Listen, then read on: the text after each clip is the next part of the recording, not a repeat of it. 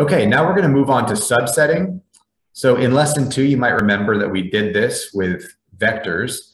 Um, so vectors only have that one dimension, they have the length dimension. And now we have a data frame that has both uh, kind of length and width. Okay, we have rows and columns that we can inspect here. So it works similar.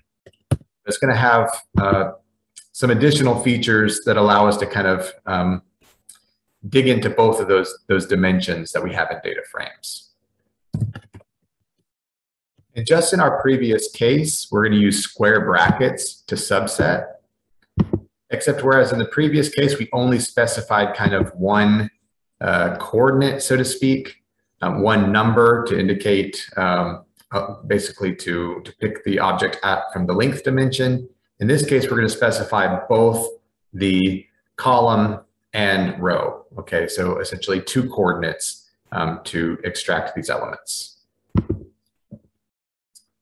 And these are organized basically with rows coming first, followed by columns, separated by a comma.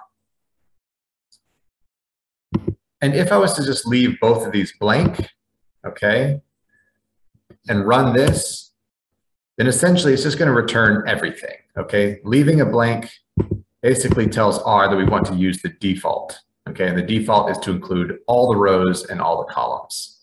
Okay, on the other hand, if I was to specify that I was just interested in the third row and let's say the fourth column, well, now it's going to return a, a, a tibble with just one dimension, sorry, one by one. So one row, one column. Okay, essentially, it's just picking out a specific cell and the value in that cell is 10. Okay, so this is the value that's stored in the third row in the fourth column, which is the number of members. So more often, I'm interested in picking out an entire range. The way that I do that is with the colon, which basically says that I want rows one, two, three. So basically everything contained between those uh, first and second values. And maybe I just want the number of members column returned. So in this case, I have a tibble with three rows by one column.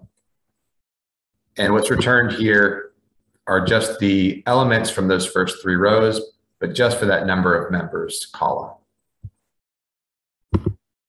Likewise, if I was to use a colon here, I could pick out a range and return uh, columns four through six. And that's going to give me a three by three tibble or data frame. Okay. Or again, I can leave these blank and return everything. Okay, that's all the all the columns with just the first three rows.